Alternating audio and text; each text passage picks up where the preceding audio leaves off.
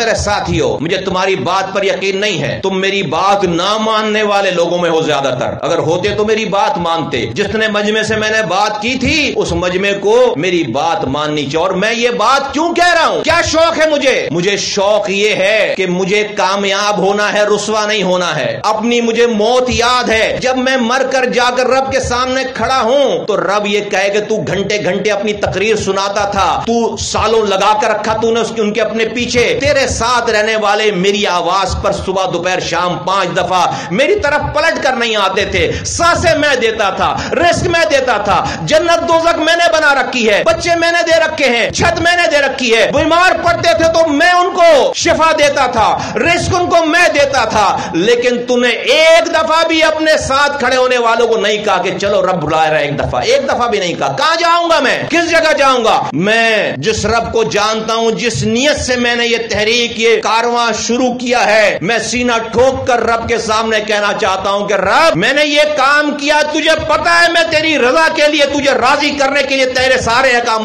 को पूरा करते हुए मैंने ये सियासत की है। मुझे रब की रजा यही चाहिए, इसी सियासत में चाहिए। ये तुम लोग मेरे पास शमूलियतों के लिए लोग लेकर आते हो। मेरे पास लाने से पहले उससे पूछो कि वो अगर मुसलमान है, किसी भी मसलक का है, वो पाँच वक्त नमाज़ वाला है नहीं है। और नहीं है तो तस्वीर खिंचवाने से पहले पूछो कि वो नमाज़ पर आना चाहता है या नहीं आना चाहता। अगर तुम्हें ये पता हो कि जरा सी इफ़ एंड बट है, नहीं लेकर आओ मेरे पास उसको। नहीं बनाओ कारकुन नहीं चाहिए। इसलिए कि जीत हो नहीं सकती, कामयाबी हो नहीं सकती, इसके बगैर हो नहीं सकती। और आज से मेरी पार्टी का यह फैसला है, बहुत माजरत के साथ कि पाक सरजमीन पार्टी का अगर कोई कारकुन रहना चाहता है, जिम्मेदार रहना चाहता है और बनना चाहता है तो उसके लिए एक ही प्री कंडीशन है। चाहे वो शिया हो, सुन्नी हो, देवबंदी हो, बरेलवी हो, मालिकी हो, अहल हदीस हो जो भी हो मुसलमान, अब वो अपने अपने तरीके से पाँच वक्त की नमाज़ अगर नहीं पढ़ सकता तो वो पाक से ज़मीन पार्टी का कारकुन नहीं है, जिम्मेदार नहीं है। ये आज से पाबंदी है। ये कंडीशनल है। तुम में से सारा मजमा यहाँ से उठे, कह के मुस्तफ़ा भाई, हमें ये शर्त कबूल नहीं है। ऐसे उठो और अपने घर को जाओ। एक रत्ती बराबर भी मुझे परवाह नहीं है, मेरे दिल में बाल